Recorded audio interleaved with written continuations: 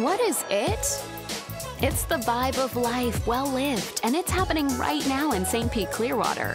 35 miles of white sand bliss and 1,000 ways to have your best day ever.